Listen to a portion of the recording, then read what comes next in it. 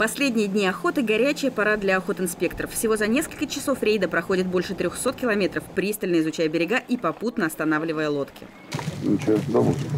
Да вон три штучки подбили. У охоты на уток и гусей своя специфика, поэтому таких охотников видно издалека. Служба охраны биоресурсов. Что так выставились-то? Не пройти ничего. Внимание уделяют уже известным избушкам, проверяют лицензии, оформление добытой дичи, оружие. Обращают внимание и на собак. Брать таких нельзя, могут разорить гнездо. На первый раз отделались устным предупреждением. Молодые были, может быть, и проходили. Да, сейчас уже старики все. Так, поехали. Не болтай, отдохнуть. Сергей, не болтай. Не рассказывай. Всего хорошего вам. Опытные охотники жалуются, мол, с каждым годом утки все меньше. Не идет утка. Вот где она утка? Нигде нету. Былые времена здесь вообще идут.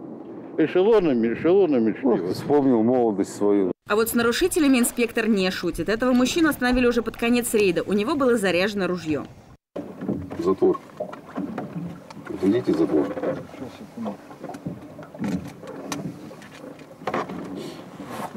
Как выяснилось позже, это единственный нарушитель за все выходные. Говорит, поторопился, но протокол все равно составлен. В преддверии закрытия весенней охоты на водоплавающую дичь э, граждане, охотники стали более сознательные. В этом году нарушений административных э, стало намного меньше, потому что проводится консультирование охотников э, перед выдачей разрешений. Во время рейдовых мероприятий проводим консультации.